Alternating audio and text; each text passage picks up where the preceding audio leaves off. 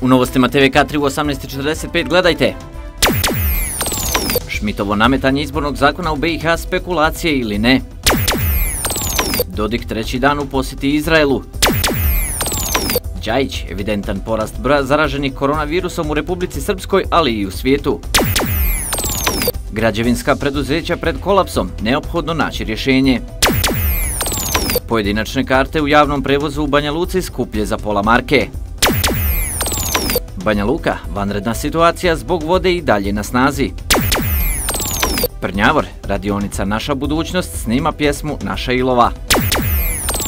Vrijeme, sutra sunčano i toplo, temperatura do 38 stepeni. Novosti TVK3 u 18.45.